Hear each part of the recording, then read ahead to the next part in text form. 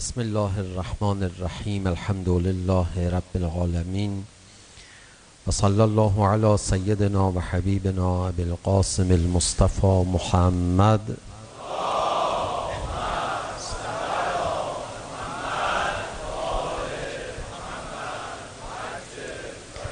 و آله الطیبین الطاهرین المعصومین سیم الحجه بقیت الله الاعظم روحی و ارواح العالمین له الفدا.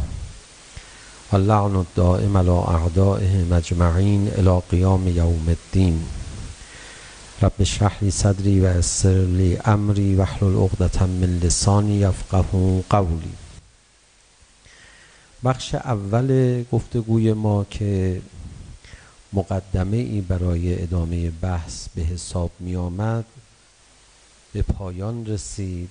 اجمالا درباره هدفدار بودن انسان سخن گفتیم و راه این که انسان هدف خوبی رو پیدا بکنه و با هدف ارتباط خوبی برقرار بکنه دیدیم که تفکر است. ما همدیگر رو به تفکر در واقع توصیه کردیم. تفکری که نتیجهش هم انتخاب یک هدف خوب قطعا و هم ارتباط خوب با اون هدف خوب به حساب میاد. دیگه درباره این صحبت نکردیم که بیایید با هم بحث کنیم بررسی کنیم آیا بهترین هدف خداست بهترین هدف لقاء الله هست بهترین هدف بهترین در بهترین وضعیت خدا را ملاقات کردن است. فکر می‌کنیم اجمالا همه ما توجه به این مسئله داریم. و واقعا من فکر می‌کنم که هر کسی با تفکر تو این مسیر جلو بره به همین نتیجه می‌رسه. ممکنه لازم باشه جلساتی تشکیل بشه برای اینکه جوانها در این تفکر کمک بشن راهنمایی بشن. ممکنه دلنوشته ها و تراوشات اندیشه آدم های موفق در مسیر انتخاب هدف که یادداشت می‌کنن مراحل تفکر خودشون رو کمک بکنه به منی که در این راه ممکنه ناوارد باشم. ولی واقعا هر انسانی به مقتضای ظرفیت خودش متناسب با شرایط خودش فکر بکنه می‌بینه چیزی غیر از خدا ارزششو نداره که آدم به عنوان هدف تلقی بکنه. هدف نهایی ما قهرن ملاقات خداست. هدف نهایی ما اکتسابا در بهترین وضعیت خدا رو ملاقات کردن است. و هدف میانی ما هر لحظه به خدا نزدیک شدن. ببینید این ستا رو دیگه ازش بحث نکردیم. شاید مغز بحث ما بود قرض بحث ما بود. ولی گفتیم که خود جوانها بهش فکر کنن می‌رسن. هدف نهایی ما یا ایها الانسان انک کادح الی ربک کدحا فملاقیه. تو خدا رو با همه سختی ها تلاش توأم با سختی ای انسان ملاقات خواهی کرد. کسی نمی‌تونه انتخاب بکنه. این هدف قهری ماست. ما به این سو خواهیم رفت. از دالان مرگ هم عبور خواهیم کرد. به صحرای محشر هم خواهیم رسید. خب به این هدف قهری فکر کنیم. این دیگه در اختیار ما نیست که انتخاب کنیم. فقط بهش فکر کنیم چه راهی پیش روی ماست. هدف اکتسابی ما من خدا رو در بهترین وضعیت ملاقات کنم. خدا خیلی ازم راضی باشه. من خیلی از خدا راضی باشم. یا ایتها النفس المطمئنه ارجعی الی ربک راضیتا مرضیه. بیا به سوی پروردگار خودت بهترین حالت راضی باشی و مرضی. بهترین حالت اینه که خدا از تو راضی باشه و تو از خدا راضی باشی. این میشه هدف اکتسابی ما. آقا یه کمی در مورد اینها بحث کنیم. نه دیگه اینا دیگه کار خودته. ببین چیز دیگه میارزه براش زندگی کنیم.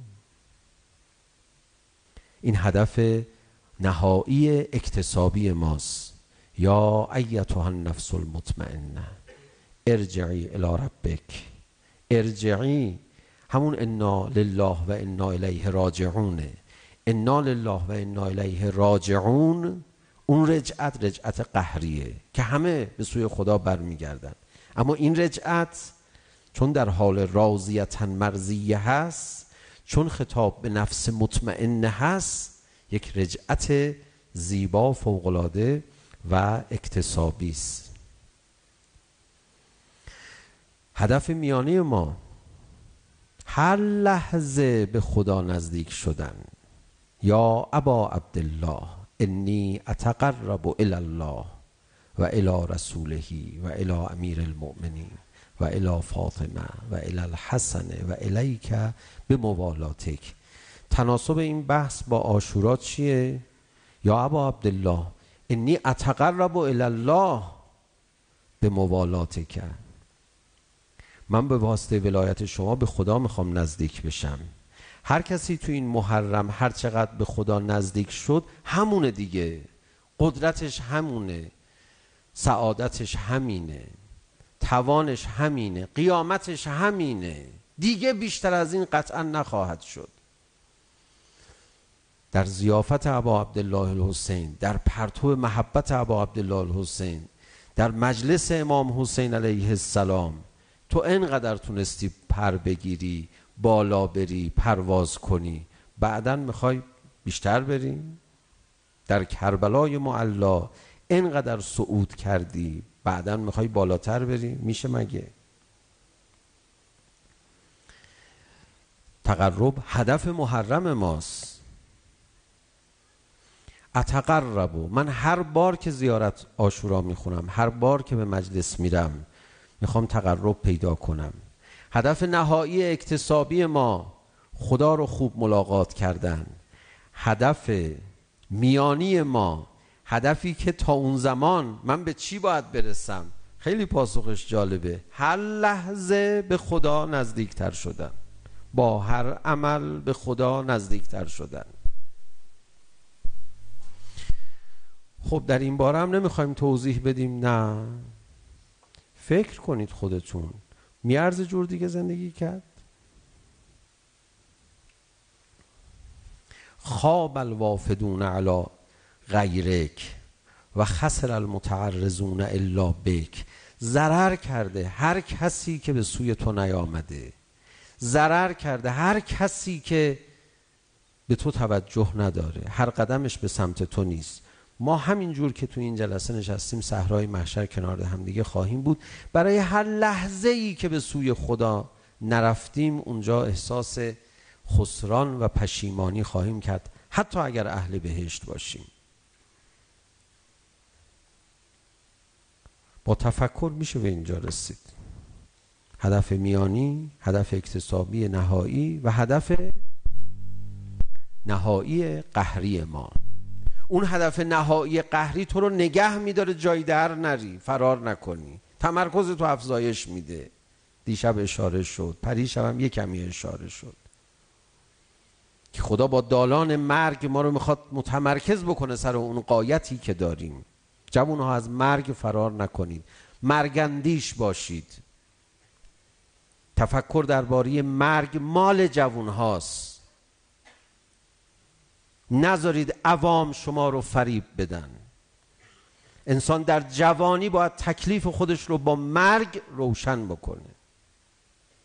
چقدر زیباست آدم تو محرم وصیت نامه بنویسه.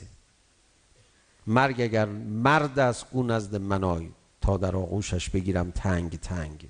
شعاری باش برخورد نکنید. ممکنه تو هیئت یه شعار شهادت طلبانه بدید. اما نیمه شب روش فکر کنید. تکلیف خودتون رو مشخص کنید باش. تو در جوانی تکلیف خودت رو با مرگ روشن نکنی پس فردا منفعلانه خواهی مرد. تو را روی زمین می‌کشند و می‌برند و می‌کشند و جانت را می‌گیرند. وقت اون درد اون مرگ دردناک خواهد بود. تکلیف خودت رو با مرگ روشن کن. خب یک مقوله ای هم که در این میانه هست خیلی قشنگه به نام شهادت. ازش استفاده کن دیگه. روش فکر کن. تا برسی شب آشورا که شهادت نامه اشاق امضا می شود اینا تعارف نداره. اون قایت قهری ما ما رو نگه میداره که سر این قایت اکتسابی عمل بکنیم. و بعد هدف میانی ما چیه؟ هر لحظه به خدا نزدیکتر بشیم. از این جلسه رفتید بیرون خدایا من به تو نزدیکتر شدم؟ یا ابا عبدالله به تو نزدیکتر شدم. حالا در مورد این هدف میانی بعدا یه مقدار بیشتر صحبت خواهیم کرد. سر این فراز زیارت آشورا چیه؟ خیلی عجیبه. من هم به خدا مقرب می شوم هم در همین مسیر به رسول خدا به امیر المؤمنین به فاطمت زهرا به امام حسن مشتبا به امام حسین هم نزدیک میشم. هر لحظه نزدیکتر میشم به امام حسین. و الیکه خب این نیمه اول بحث ما. بخش نگفته بحث ما هم که به اندیشه شما بزرگواران واگذار شده اون سه موضوعی است که در واقع عرض کردم با تفکر باید به اینجا برسی. کم آوردی بیشتر فکر کن. به دست نیاوردی بهتر فکر کن. جای خودتو توی فکر کردن عوض کن. زاویه خودتو برای نگاه کردن تغییر بده. از قرآن کریم هم به عنوان متن تفکر میشه استفاده کرد. کسی زیاد قرآن بخونه فکرش نورانی میشه. ادعیه رو هم مطالعه کنید. ادعیه رو حتما نباید تو مجالس دعا خوند. حتما نباید ادعیه رو با حال خوند. ادعیه رو مطالعه باید کرد. غروب ها گاهی شروع کنید. ادعیه رو مطالعه کنید. ماه رمضان نیست. دعای ابو حمزه سومالی رو یه بار مطالعه کن. کنجکاوی تو بذار اینجاها یه کمی تحریک کن. من می‌خوام ببینم چی گفته خدا. چی گفته امام سجاد علیه السلام به خدا؟ چجوری صحبت می‌کنه؟ یه بار متنش رو مرور کن. متن ادعیه متن نورانی قرآن کریم برای تفکر خیلی خوبن. خیلی اصلا همینا انسان رو به فکر وادار می‌کنن. بقیهش با خودتون. هر کی این قسمت رو تکلیفش رو انجام نده به قسمت بعدی بحث نمی‌تونه راه پیدا بکنه. قسمت بعدی بحث رو فقط میشنوه. ما اگر اینجا رو به مسابه یک کارگاه برای اصلاح نفس خودمون تلقی بکنیم چون اون قسمت رو تکمیل نکرده قسمت های بعدی رو نمی‌تونه پیش بره. فقط میشنوه. میشنوه که حالا انشالله بعدا ببینیم خدا چی می‌خواد. شاید محرم سال آینده دیر باشه. شما بگید یه طلبه ای سر راه ما ثبت شد گفت ممکنه محرم سال آینده دیر باشه. بگید یه نفر اینو گفت به ماها.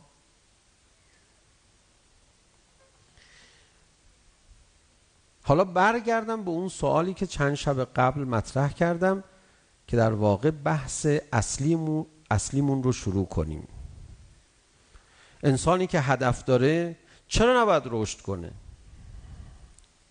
انسانی که در مورد هدفش فکر کرده و هدفش رو انتخاب کرده راز رشدش در چیه؟ مهمترین اقدامی که باید بکنه برای اینکه به هدف برسه هم هدف میانی خودش همون هدف قایی. مهمترین رازش چیه؟ نه تنها من و شما تک تک در زندگی فردی خودمون یه رازی برای حرکتمون وجود داره که راز موفقیته بلکه جامعه ایمانی هم تحت تأثیر همین راز هست برای اینکه به هدف میانی خود برسد که اون هدف میانی چیزی جز ظهور حضرت نیست. بخش اجتماعی بحث بمونه برای شبه های بعد. یه جایی جامعه ما گیر کرده باید این گیر برطرف بشه تا ظهور محقق بشه. تا ما لایق دیدار بشیم. تا ما نجات بدیم جهان رو. تا آقا به خاطر ما که انشاءالله از اصحابش باشیم بیان. فعلا بعد فردی ماجرا رو بررسی کنیم. چند شب پیش بنزه یک سوال چند جمله با چند جمله توضیح عرض کردم. ماها واقعا چی کم داریم؟ فرض می‌کنیم هدف با تفکر انتخاب شده. خب. حالا اون گیر اساسی ما کجاست؟ هدف رو انتخاب کردیم. بیشترین تمرکز خودم رو باید کجا خرج بکنم؟ می‌خوام برم جلو. می‌خوام معطل نشم. می‌خوام میانبر بزنم. می‌خوام خوبی هام دیگه هیچ کدوم بی سمر نباشه. می‌خوام خوبی هام بدی نباشه. اون عارف بزرگوار فرمود چی؟ خدا اگر عذابمون نکنه به خاطر نمازهامون خیلی به ما لطف کرده. حداقل خوبی هامون ما رو برسونه به مقصد. و خوبی هایی که نداریم پای ما بنویسن. می شود این در نظام هستی هست. چند تا گزینه رو معرفی کردیم. گفتیم اینا هیچ کدوم نیست. روش فکر کنید ببینید. می‌تونید یه راه دیگه ای پیدا کنید. آگاهی ما گیرمون تو آگاهیه. نه والله. امیر المومنین علی علیه السلام میفرماد گیر ما تو آگاهی نیست. گیر ما آگاهی نیست. آگاهی همین مقداری که در فضا پراکنده است کافیه. خیلی بیشتر از اون مقدار آگاهی دینی که نیاز داریم از در و دیوار و از مدرسه و دانشگاه به ما می‌رسه. خیلی زیادیه.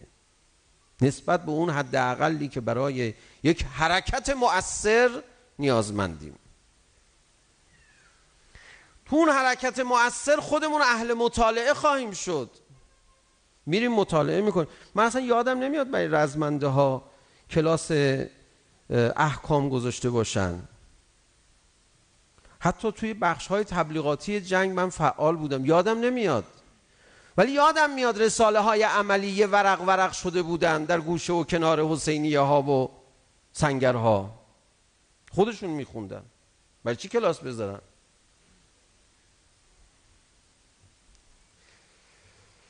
من یادم نمیاد برای اونها آموزش معاد گذاشته باشن.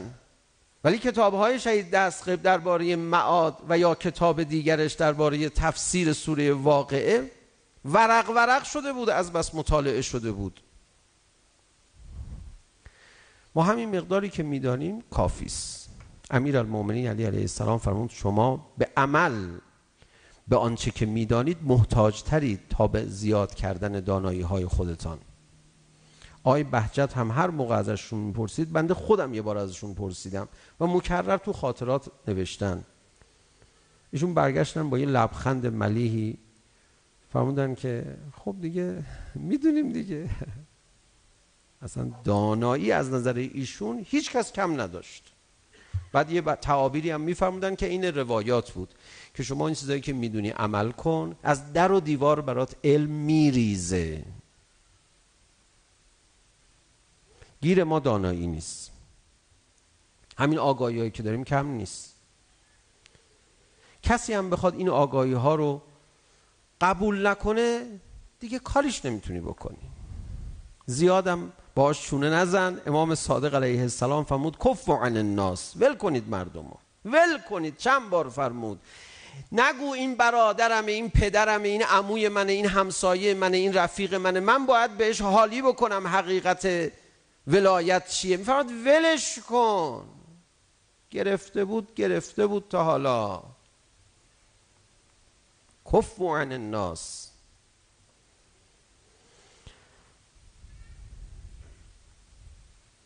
مشکل ما آگاهی نیست. مشکل ما ایمان هم نیست. همین مقدار ایمانی که داریم کافیست به چی ایمان نداریم؟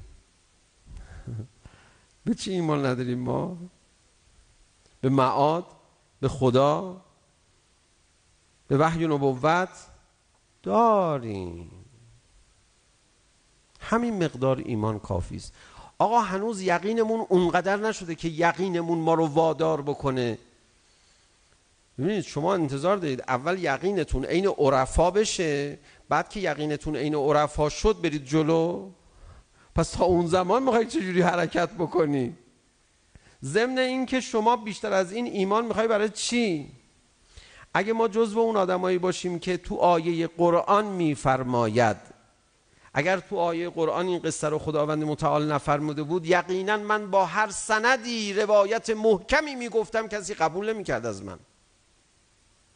میفرماد بعضی رو تو جهنم در بیارم برگردونم تو این دنیا. تو جهنم سوخته ها آلزایمرم نگرفته می یادشه برگردونم تو این دنیا. بگم حالا مؤمن شد بعضی ها اینجوری بازم کافر میشن.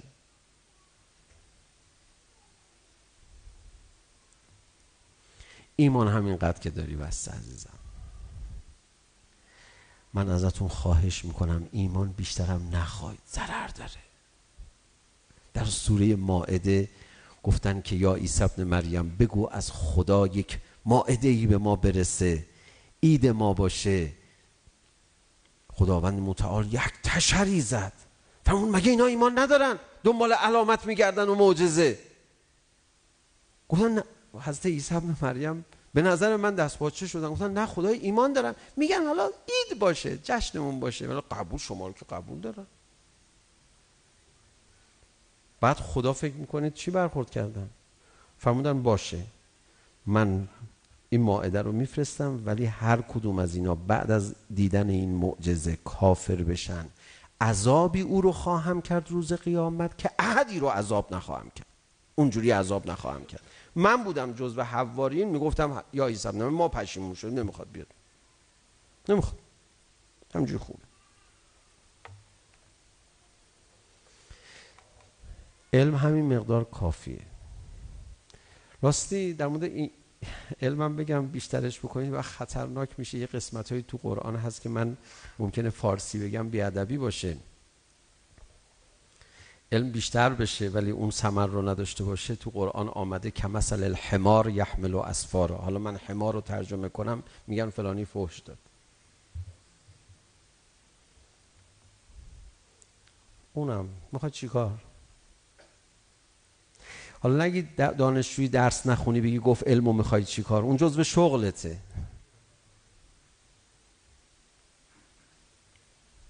من علم و معرفت دینی رو میگم. هفتش واحد درسی بیشتر هشت واحد درسی یا بیشتر شده الان معارف اسلامی تو دانشگاه ها هست. به نظر من نیاز نیست. فوقش حالا دو واحد بگذارن که دیگه خالی از عریضه نباشه دیندار شدن اینقدر چونه زدن نمی‌خواد پس شما تو دبیرستان چیکار می‌کردی؟ بعد خیلی از اون کتاب های دینی مدرسه هم حذف بکنن بهتره چه خبره؟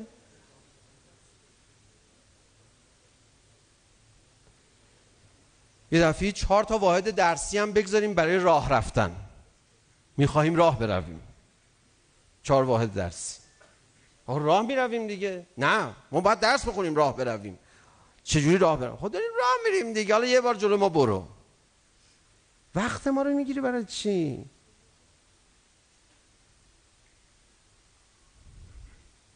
نه دو واحد درسی هم می‌ذاریم برای تنفس.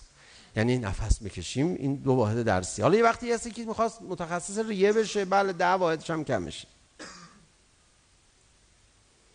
دین رو چجوری فرض کردیم؟ حالا من انشالله شبهای بعد حساب این نگاه به دین رو خواهم رسید. اینا یه سکولاریزم پنهان توشه. حالا بعدا میایم حساب این چیزا رو می‌رسیم.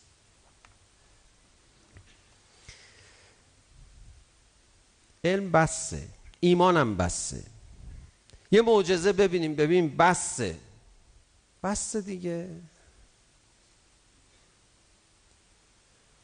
دیگه چی؟ محبت شاید کم داریم. راز رشد ما در محبت محبت هم کافیه. محبتم کافی من کسانی رو می‌شناسم با اشک ابا عبدالله الحسین رو تیرباران کردن.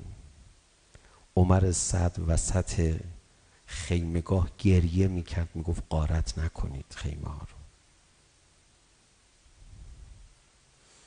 محبتش هم دیدیم.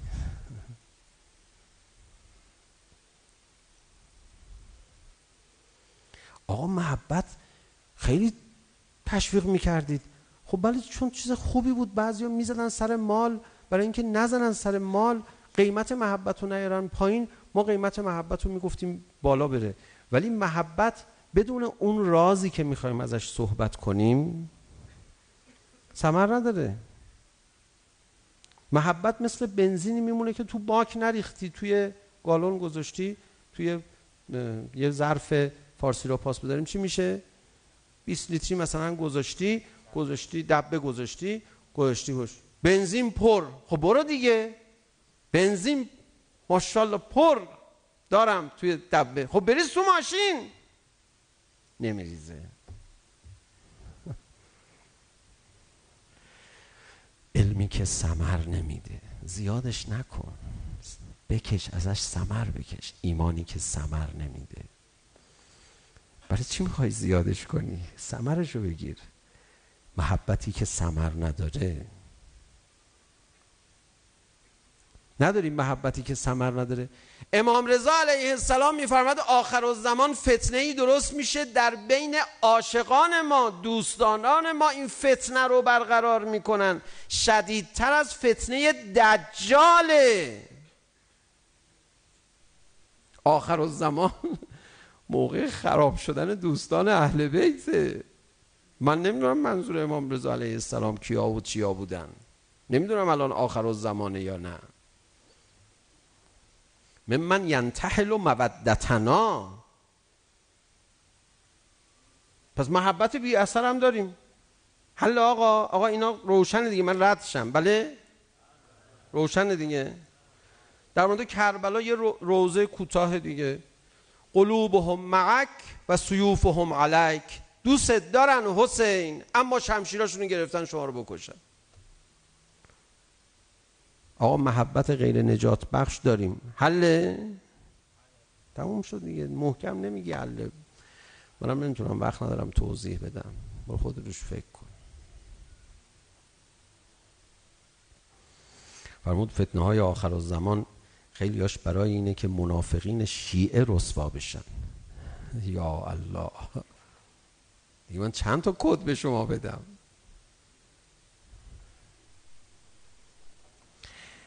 خب گیر کجاست؟ من می‌خوام یه رازی رو به شما معرفی کنم و بعد چند شب رو اون راز کار کنیم. در ابعاد فردی و اجتماعی انشالله کسی نه متوقف بشه نه کند حرکت بکنه. انشالله. عمل نداریم ها بله؟ دیگه عمل میمونه دیگه. چیز دیگه هم باقی موند. ما چی داریم دیگه؟ همه چی مونه گرفتی دیگه. فقط یه دونه عمل مونده. حتما ما عمل نداریم. عمل داریم. قبول نمیشه. عمل داریم. اثر نداره. عمل نداریم. چرا نداریم؟ علمم داریم. محبتم داریم. ایمانم داریم. یا عمل داریم. اثر نداره. یا عمل نداریم. چرا نداریم؟ عمل موثره بله خیلی موثره چرا عمل نداریم؟ توفیقش رو چرا نداریم؟ بعضی وقتا هم توفیقش رو داریم اون اثر لازم رو نداره. دیگه چی داریم که من زیرابش رو بزنم اینجوری؟ در مورد اون موارد قبلی گفتم یه چیزایی رو. علم زیادی که مثل الحمار یحمل و اسفار. ایمان زیادی می‌خوای بری با معجزه ایمان پیدا بکنی ولی اونور به اقتضاعش درست عمل نکنی عذابی خدا به این افراد خواهد داد که احدی رو اینجوری عذاب نمی‌کنه. در صفحه آخر سوره مائده اون بالا سمت راست نوشته.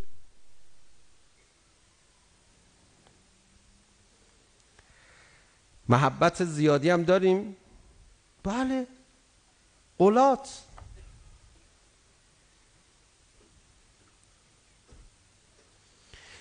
رفقا راستی بذارید من یه توضیح کوچیک اینجا بدم. در ارتباط با محبت مراقبت می‌کنید آقا محبت زیادی نمیشه. محبت زیاد خوبه هر چقدر زیاد باشه هم خوبه. ولی محبت زیادی یعنی نابجا این محبت رو بی حساب نشون بدی می‌دونی چوب داره؟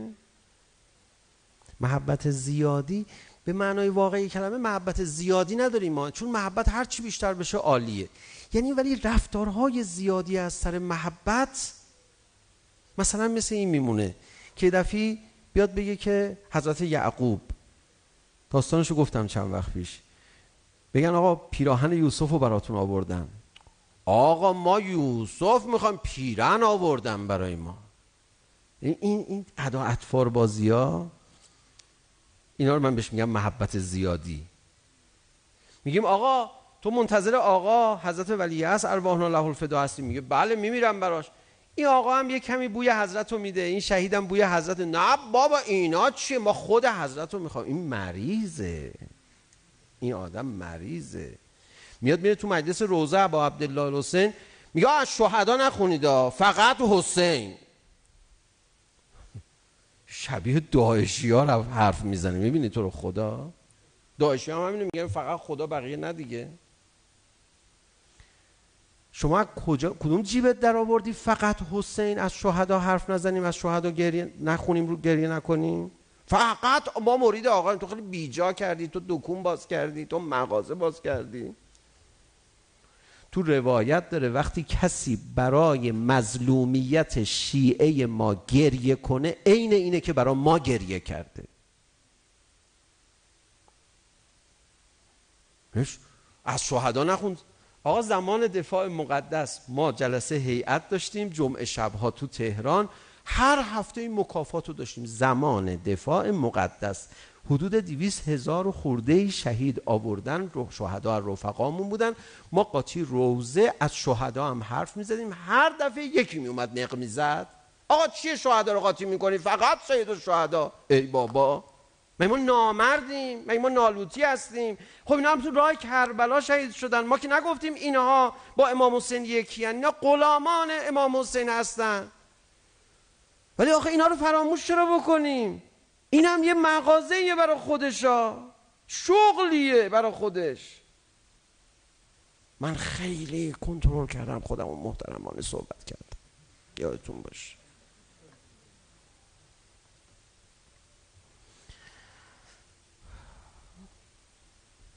محبت باید سمر بده. در مورد عمل هم بگم. عمل زیادی هم داریم. آره به خدا. یعنی دیگه اینجا می‌خوام بگم بابا جون مادر تو رو خدا عمل بی خود زیادی انجام نده. درد سر میدی به ما. اوج میاد غرور میاد. هیچ کی دیگه آدم حساب نمی‌کنی ای الهی گناه بکنی ولی غرور پیدا نکنی از اینکه گناه نمی‌کنی. این حدیث پیغمبر بود من به شما گفتم. فرمود اگه کسی گناهاشو ترک بکنه مغرور بشه به این که گناهاشو ترک کرده گناه می‌کرد بهتر بود. عمل بی اثر یعنی این. من می‌خوام فداتون بشم. یه رازی رو بگم. عمل بی اثر نداشته باشین. بگو. علم بی سمر نداشته باشین. ایمانمون نتیجه بده. محبتمون به جا باشه. رازش چیه؟ می‌خواید هیچی نگم تو فردا شب روش فکر کنید ببینید چی باید باشه. قبلا اشاره کردم که روش فکر کنید. فکر نکرده بودید. از چهرهتون کاملا معلوم روش فکر نکرده بودید. چون بحثی چیز دیگه بود. ما هم خیلی زود اون سوال رو مطرح کردیم. چون خیلی از دوستان می‌پرسن آقا معمای بحث امسال چیه؟ گفتم اونا هم که می‌خوان معما حل کنن فعلا مشغول باشن تا بحث کمی بریم جلو آماده بشیم. من اگر پاسخ این سوال رو گفتم نگید آسون بود. بله آسونه. همیشه آدم با قفلت نسبت به چیزای آسون بدبخت میشه. فکر کردید کسی میره جهنم چون سخت بود؟ پس چرا روز قیامت رو اسمشو گذاشتن یوم الحسره حسرت می‌خورن آدم ها همه شما که اینجا نشستید که خیلی خوبید و من بدبخت بیچاره که کمترین شما هستم کمترین شما که نه کمترین خیلی هایی که کمترین شما هستن. روز قیامت حسرت می‌کنیم می‌خوریم خاک به سر خودمون میریزیم. چرا آقای بهجت نشدیم؟ می‌تونستیم بشیم. چرا؟ چون می‌فهمیم آسون بود. حالا من می‌خوام این راه آسون رو یاد بدم. نه اینکه من یاد بدم من که گزارش میدم.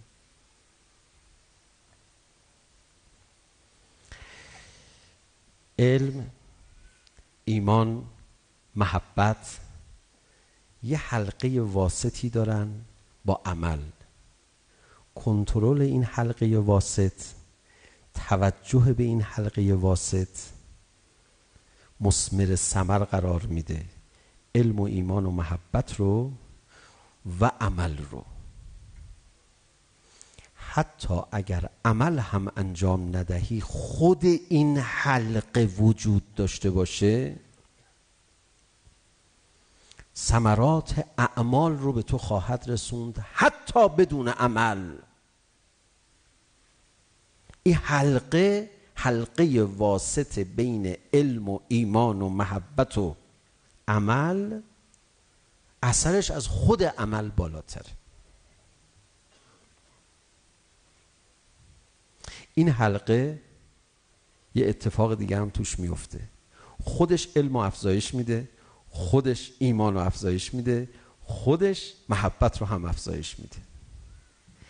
این حلقه هم امکان عمل برات درست می‌کنه هم عمل تو سالم می‌کنه و مسمر سمر حلقه مفقوده حیات ماست. و ابلیس رجیم لعین پست که دشمن ماست. ما رو سر همین حلقه همیشه بدبخت می‌کنه. با چی؟ با قفلت. می‌خوای بهش نگاه کنی؟ اونجا رو نکن اونجا نکن رد شد ولش کن.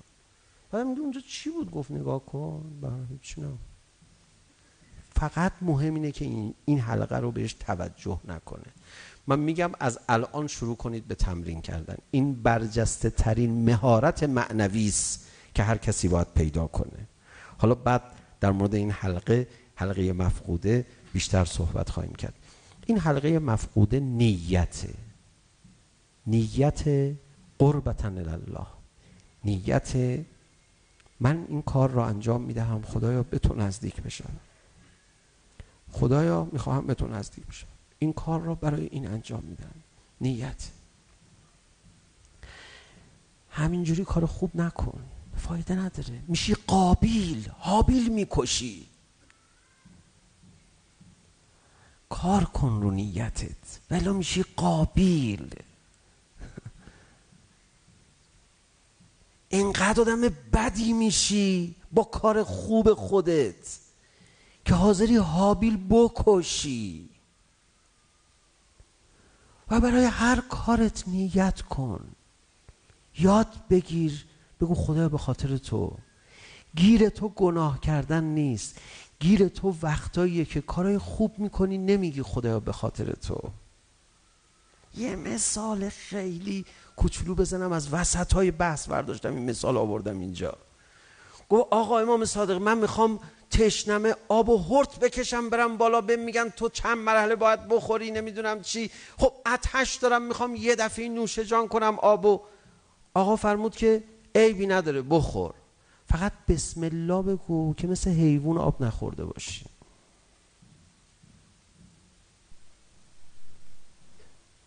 هر جوری خواستی بخور. یه مرتبه خواست دو مرتبه بخور سه مرتبه بخور. نیت چرا نمی کنی؟ نیت مگه به کار آقا نیت یعنی چی؟ هم تو ذهنت بگذار. حالا مثلا من تو ذهنم نگذرانم چه اتفاقی میفته این انسان رو بهش میگن انسان دنیا زده. نیست تو دنیا نیت مهم نیست؟ تو دنیا هیکل مهمه. تو دنیا عمل مهمه. تو دنیا چی مهمه؟ همین چیزایی که مهمه. رو نیت مدرک میدن. به نیتت چی کار دارن؟ ولی خدا رو چی حساب می‌کنه؟ می‌خواد ببین تو این دنیا دنیا زده نشی من نیت ازت می‌خوام. پس عمل نمی‌خوای. عمل به خاطر صدق نیتت می‌خوام. اگر عمل نتونستم بکنم نیت کردم چی؟ ازت قبول می‌کنم. من نیت ازت می‌خوام. عمل نمی‌تونم انجام بدم چی؟ نیت درست نیست و الا به توفیق عمل می‌دادم. شاید. شاید توفیق عمل بهت نمیدم که نیتت خراب نشه. نیتت مهمتر از عملته.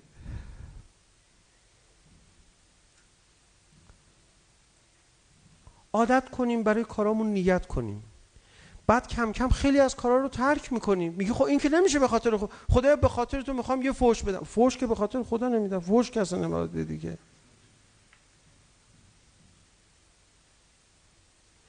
خدا می‌خوام به خاطر تو فعلا یه کمی بیکار باشم. خود آدم خجالت می‌کشه. خب چرا بیکار باشم؟ بچه بیکار باشم؟ این کارا که نمیشه به خاطر خدا انجام داد. این غلط ها که آدم به خاطر خدا نمی‌کنه که. والذین جاهدوا فینا فینا. لنهدینهم سبلنا. جهاد کنن در راه ما. ما هدایتشون می‌کنیم ما دستشون رو می‌گیریم. عمل مسمر سمر اونیه که فینا باشه در راه ما باشه. دیدن طرف اومده توی جنگ احد. داره می جنگ جز مسلمان ها نبود هرچی بهش می‌گفتن اسلام بیار مجروح شده بود.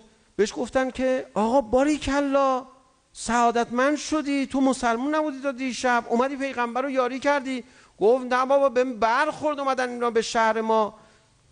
حمله کردن مردونگیم اجازه نداد. بعدم هی از جراحت داشت به خودش میپیچید. خنجر رو گذاشت روی کوه و فشار داد به قلبش و خودش هم کشت. اومدن گفتن یا رسول الله فلانی در راه شما خیلی جنگی. فرمود الان تو عذاب جهنم داره آتیش می‌گیره نیت نداشت. نیت نداشت. شما آدم های هوشمندی هستید. بندم وقتم برای این جلسه تموم شد تا فردا در مورد نیت با همدیگه صحبت بکنیم. یه چند تا روایت بخونم. عجائب بحث نیت رو ببینید. و بعد در زندگی فردی و بعد آثار اجتماعیش. رفقا یه کاری کنید ظهور محقق بشه. تموم بشه دیگه. آدم با نیتش راه میانبرم می‌تونه بره.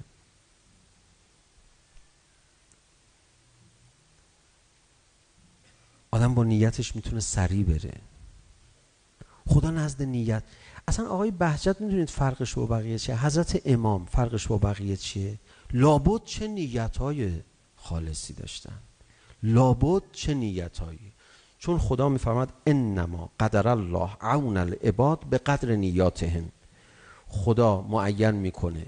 کمک به بندگانش رو به اندازه نیت هاشون هر کی نیتش کاملتر باشه کمک خدا برای او کاملتر خواهد بود. هر کی رفقا نیت هم یه کاری داره؟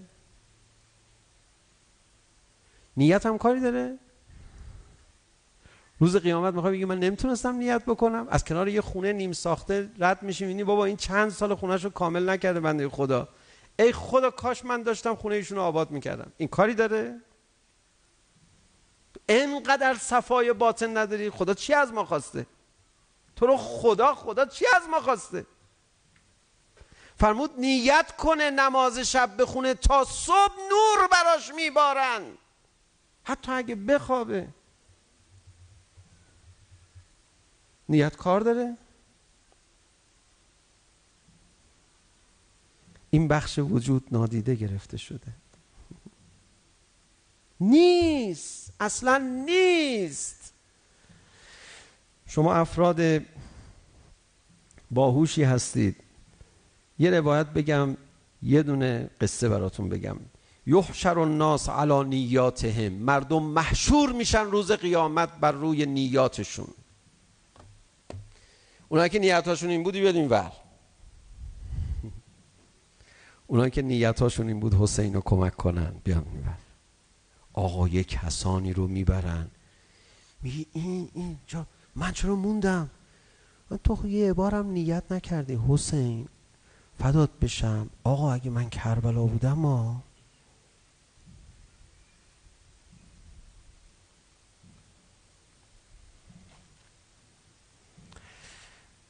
اومد پای رکاب امیر المؤمنین گوه آقا دیر رسیدم. پس از پایان جنگ جمل. خیلی دوست داشتم. بیام. فرمود واقعا نیت داشتی منو کمک کنی؟ گفت آره آقا. آقا فرمود قنبر از قنائم چی باقی مونده؟ گفت همه رو تقسیم کردیم فقط سهم شما باقی مونده. امیر المومنین فرمود بده سهمو به ایشون. گفت آقا من غنیمت نمو فرمود سهمته. تو جنگ شرکت کردی سهمت گفت آقا من شرکت نکردم. من دارم میگم دوست داشتم دیر رسیدم. فرمود همون نیت کافیه. بگی سهمتو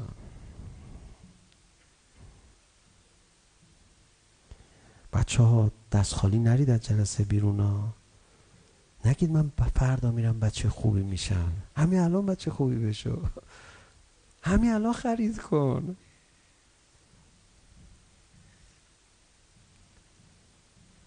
بعضی نمی‌تونن نیت کنن. بذارید دوباره سر بحث رو باز نکنم. اومد گفت یا امیر المومنین کاش برادر من پای رکاب شما بود.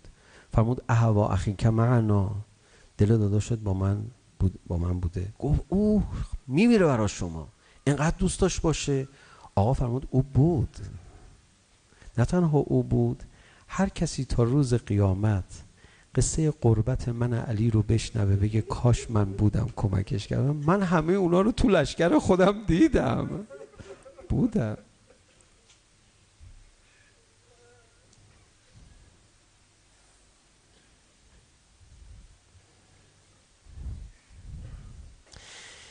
یه نفر بود یک شخصیت بسیار برجسته. کربلا نبود. قبل از کربلا به شهادت رسیده بود. ولی خیلی نیت داشت برای کربلا. ابا عبدالله الحسین رو می‌دید انگار با یه حسرتی می‌گفت میفرمود لا یوم که یوم که یا ابا عبدالله. نیتی داشت برای کربلا. دلی داشت ولی خودش کربلا نبود.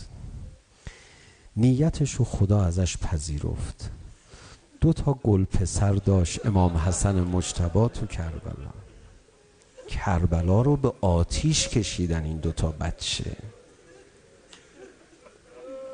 تمام نیات امام حسن مجتبا علیه السلام محقق کردن.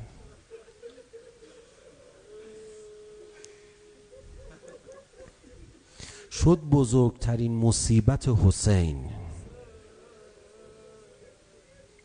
کدوم مصیبت؟ ببینید هر که در این بعض مقربتر است جام بلا بیشترش می‌دهند حسین علیه السلام هی لحظه به لحظه نورانی تر میشه. هرچی بزرگتر میشه مصیبت بزرگتره میاد. مصیبت غیر قابل تحمل تره میاد. قبل از لحظه آخر تو گودی قتلگاه کدوم مصیبت بر سر حسین نازل شد؟ عبدالله ابن حسن دستشو از دست زینب رها کرد. من دیگه نمی‌تونم از اموم جدا بشم. تمام فرشته های زمین و آسمان التماس. تو یتیم داداشش امام حسنی آتیش می‌گیره حسینا. نرو عبدالله خواهش می‌کنم. نرو. نرو. چی کار کرد امام حسن تو کربلا؟ کی میگه امام حسن تو کربلا نبود؟ شدیدترین گریه های امام حسین علیه السلام تو کربلا برا بچه های داداشش امام حسن بود که قش کرد رو زمین افتاد. اصلا مورد دیگه ای نداریم تو کربلا اینجوری شده باشه امام حسین. این نیت امام حسن رو برم فداش بشم. کربلا رو امام حسن و امام حسین و زینب کبرا با هم اداره کردن. عبدالله ابن حسن دستشو از دست ام جانش زینب در آورد. گفت من دیگه نمی‌تونم. اومد اونجا. چه شیرمردی از خودش نشون داد. یه بچه کوچولو ده دوازده ساله. دستش رو سپر کرده انگار شمشیر داره جلو دشمن می‌گیره. والله لا افارق و امی بذار بگم شما که داد می‌زنی. اینجوری نوشتن که وقتی رو سینه عبا عبدالله الحسین خودش رو چسبونده بود به امام حسین اون دشمن اومد فکر کرد اینم می‌خواد ورش داره ببره خیمه. دستشو برد بالا گفت به خدا من از امو جدا نمیشم منو جدا نکن از امو نمی‌دونست اون نامرد شمشیر رو آماده کرده. على لعنة الله على القوم.